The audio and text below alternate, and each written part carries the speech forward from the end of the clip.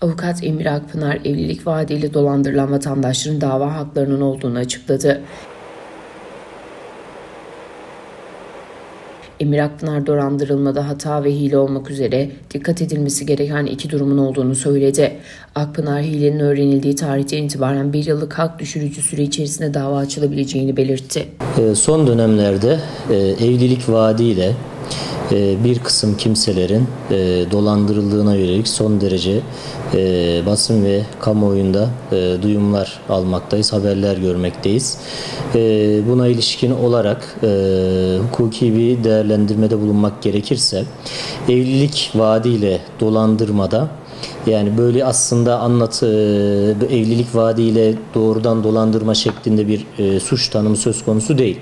Ancak evlilik vaadiyle dolandırma söz konusu olduğu zaman e, karşı taraf e, evlilik vaadiyle kendisini dolandıran kimseye karşı yapmış olduğu tüm harcamaları talep edebilecek ve e, sonuç olarak da e, dolandıran kişi tarafından diğer e, tarafa yap, yaptırmış olduğu tüm harcamalar iade edilmesi gerekecektir.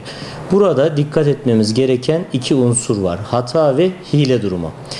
Hata e, hatada yanılma, hilede ise yanıltma söz konusudur.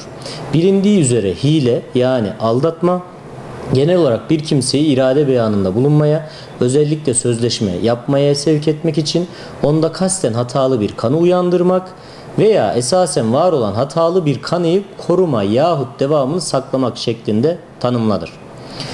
Taraflardan biri diğer tarafın kasıtlı aldatmasıyla sözleşme yapmaya yöneltilmişse yanılma yani hata esaslı olmasa bile aldatılan taraf için sözleşme bağlayıcı sayılamaz. Değinilen koşulların varlığı halinde aldatılan taraf hakkını kullanmak suretiyle hukuki ilişkiyi geçmişe etkili olarak ortadan kaldırabilir ve verdiği şeyleri geri isteyebilir. Öte yandan hile her türlü delil ispat edilebileceği gibi iptal hakkının kullanılması hiçbir şekilde bağlı değildir. Hilenin öğrenildiği tarihten itibaren bir yıllık hak düşürücü süre içerisinde karşı tarafa yöneltilecek bir irade açıklaması defi yahut dava yoluyla da kullanılabilir.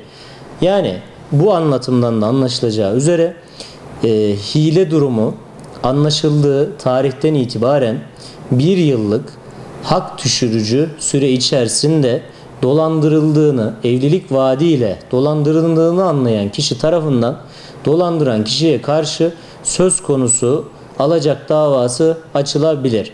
Belirtmek gerekir ki günümüzde yaşanan hadiseler hep işte bir evi, bir arabayı ya da bir e, geçmişe yönelik birikimini e, eş olarak kendisine seçeceği kimseden dolandırılması suretiyle e, yapılmakta, uygulanmakta.